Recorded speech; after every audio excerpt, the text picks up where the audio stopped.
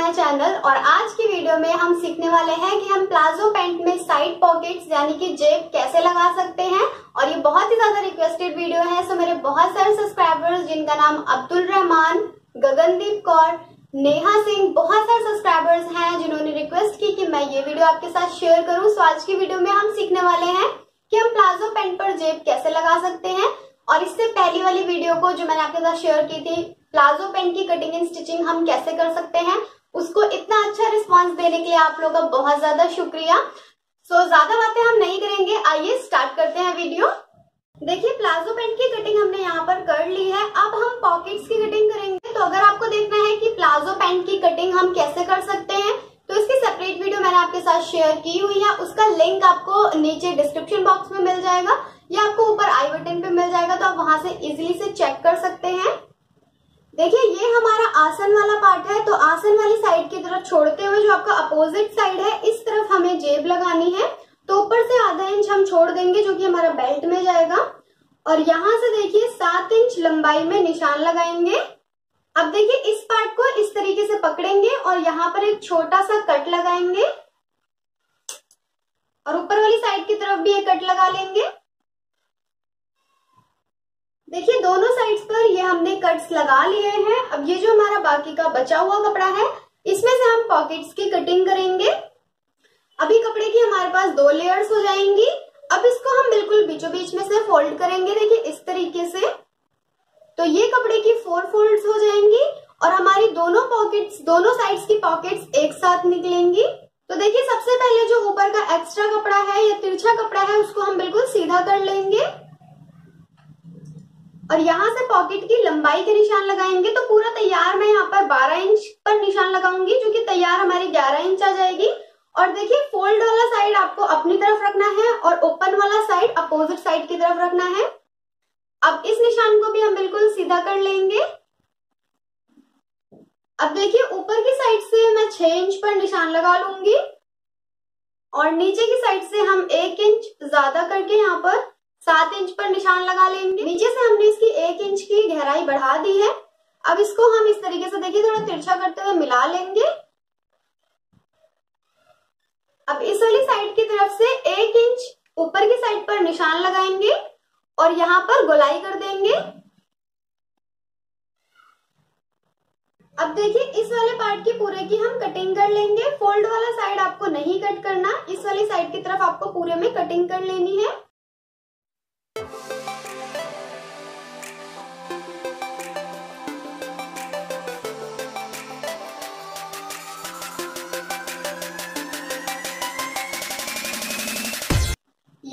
हमारी दो पॉकेट्स की कटिंग हो गई है और ये बीच में इस तरीके से जुड़ी रहेगी।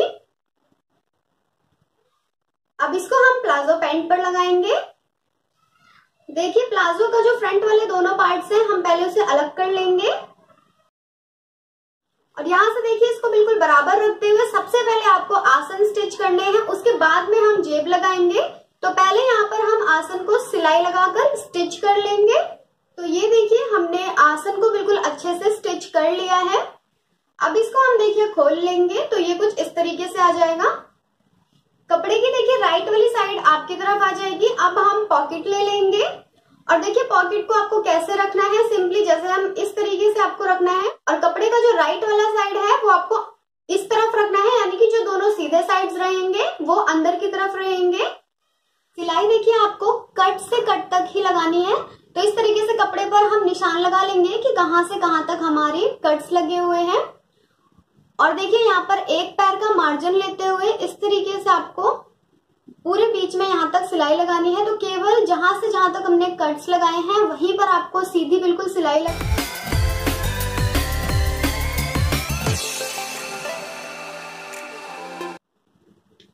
ये सिलाई देखिए हमने बिल्कुल लगा ली है।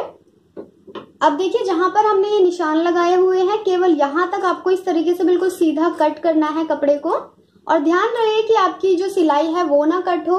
तो ऊपर और नीचे दोनों साइड्स पर हम इस तरीके के सीधे कट्स लगा लेंगे। अब इस कपड़े को देखिए, इस तरीके से खोल लीजिए। और यहाँ पर बिल्कुल नाखून से अच्छे से दबा लीजिए, जिससे कि ये बिल्कुल अच्छे से कपड़ा जो है, बिल्कुल अच्छे से बैठ जाए। अब देखिए, ऊपर की साइड की तरफ़ जो हमने कपड़ा कट किया था, उसको आपको पूरे कपड़े को अंदर की तरफ़ कर लेना है और ऊपर वाले कपड़े को देखिए, इस तरीके से बाहर की तरफ़ निकालना है। और नीचे वाली साइड से भी आपको कपड़े को जो एक्स्ट्रा है, उसको बाहर की तरफ़ निकाल लेना है। देखिए साइड्स के कपड़े को हमने बिल्कुल अच्छे से निकाल लिया है और ये हमारी जेब वाला साइड पीछे की तरफ़ चला जाएगा पूरा। अब देखिए, जहाँ से जहाँ तक अभी हमने सिलाई लगाई थी, वहाँ पर आपको दोबारा से सिलाई लगानी है। ये कपड़े का सीधा वाला साइड है तो कपड़े के सीधे वाली साइड आपको सिलाई लगानी है। और यहाँ पर हम दोबारा से एक पैर का मार्जिन लेते हुए पूरे में सिलाई लगाएँगे। तो ये जेब वाला साइड बिल्कुल अच्छे से बैठ जाए, इसलिए हम यहाँ पर एक पैर का मार्जिन लेते हुए सिलाई लगाएँगे। ये देखिए सिलाई बिल्कुल हमने अच्छे से लगा ली है और बैक पार्ट देखिए, बिल्कुल अच्छे से बैठ जाएगा। अब देखिए जो इसका बैक वाला साइड है, इस तरीके से इसको पकड़ेंगे। और ये जो हमारा खुला वाला पार्ट है, अब यहाँ पर आपको सिलाई लगानी है। तो यहाँ पर केवल एक पैर से भी कम मार्जिन लेते हुए हम जहाँ तक देखिए हमने कट लगाया है, वहाँ तक पूरे में सिलाई लगा लेंगे।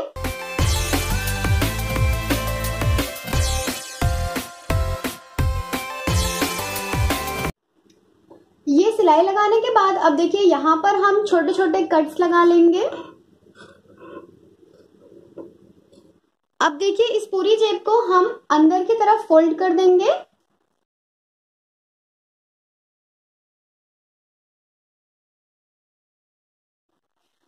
और जहाँ पर अभी हमने सिलाई लगाई थी, वहाँ पर हम दोबारा से सिलाई लगा लेंगे।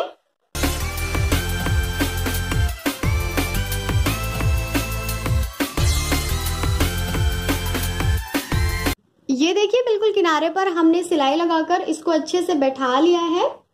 अब देखिए बिल्कुल किनारे वाली साइड की तरफ़ भी हम सिलाई लगाएँगे बट इस बार आपको अपने इस वाले कपड़े के ऊपर सिलाई नहीं लगानी। पॉकेट का जो पीछे वाला कपड़ा है, इसके ऊपर आपको सिलाई लगानी है। तो देखिए सिलाई आपको ऊपर से स्टार्ट करनी है। और अब आपको नीचे वाले कपड़े की तरफ़, देखिए इस पर आपको सिलाई लगाते हुए पूरा नीचे तक आ जाना है। और अब ये वाला जो पार्ट है हमारा, इसको भी दबाते हुए इस तरीके से देखिए, यहाँ पर आपको आपको इस वाले पार्ट के ऊपर सिलाई नहीं लगानी तो हम सिंपली बिल्कुल किनारे किनारे पर यहाँ पर सिलाई लगाएँगे और इस वाले पार्ट को बिल्कुल अच्छे से सेट कर देंगे।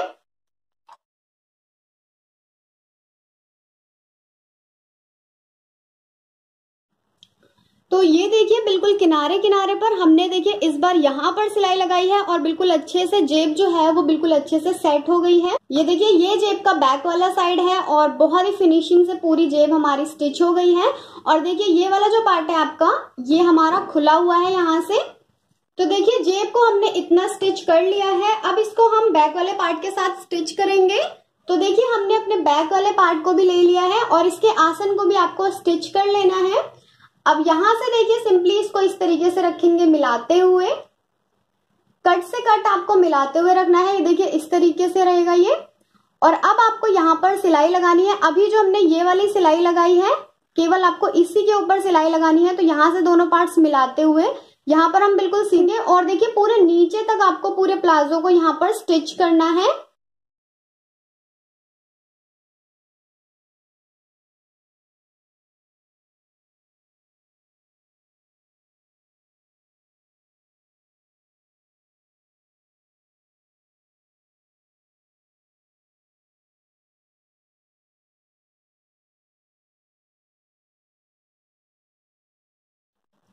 पूरे में देखिए, हमने ये साइड की सिलाई भी लगा ली है और ये इसका बैक वाला साइड है तो अब मैं आपको इसे सीधा करके दिखाती हूँ।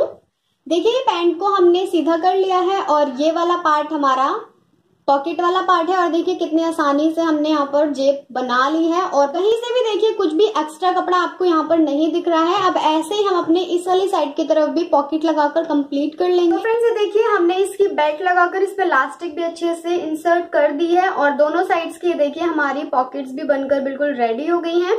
और ये देखिए कितनी फिनिशिंग के साथ हमारी पूरी पॉकेट्स बनी है। ये देखिए साइड की हमारी सिलाई और कहीं से भी कुछ भी एक्स्ट्रा कपड़ा आपको नहीं दिख रहा होगा।